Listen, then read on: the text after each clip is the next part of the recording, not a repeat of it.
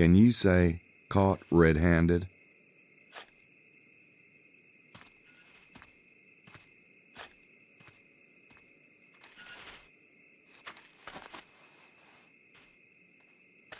Hey, Mose. Oh, God damn it, Knight. Digging for truffles? I'm. Oh, okay, see. Um, er, earlier. Okay, so I have a little theory. Same one as Madeline, apparently. Yeah, well, we're both wrong.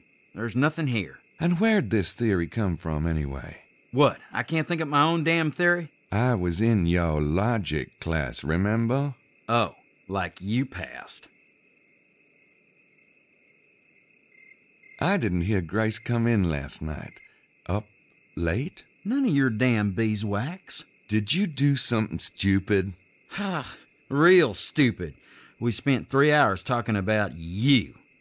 She knows exactly how you feel about her, in case you didn't know. What do you mean she knows how I feel about her? I feel great about her. Yeah, right.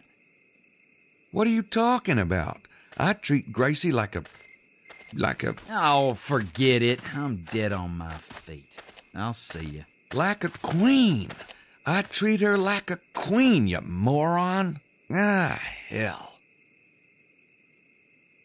Mosely must be in better shape than he looks.